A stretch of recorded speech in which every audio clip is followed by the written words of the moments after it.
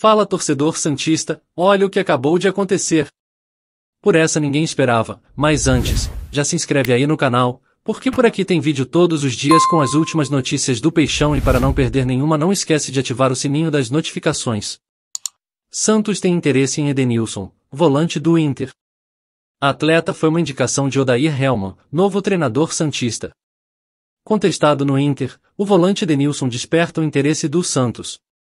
O meio-campista foi recomendado pelo treinador Odair Helman para reforçar os paulistas na temporada de 2023.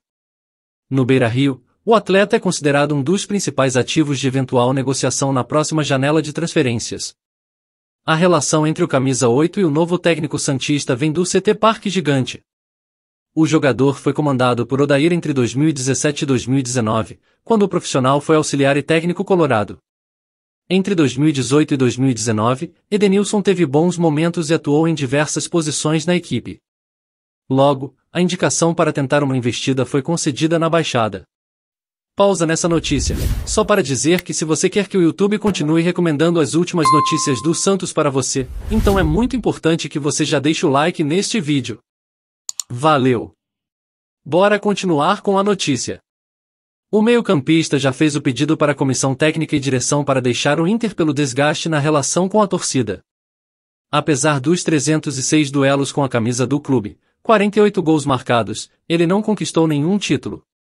Desta forma, a saída é vista como o melhor caminho entre as partes. O Colorado exige uma compensação financeira para qualquer liberação do volante. O vínculo atual, formulado em fevereiro deste ano, tem duração até dezembro de 2024 com multa rescisória considerada alta para os padrões de futebol nacional. Por sua vez, o Santos, que também terá o ídolo Paulo Roberto Falcão como coordenador técnico, não tem uma grande capacidade de investimento. Sendo assim, uma proposta envolvendo jovens talentos santistas poderá ser uma solução. Então, torcedor santista, eu quero saber de você. Qual a sua opinião sobre isso?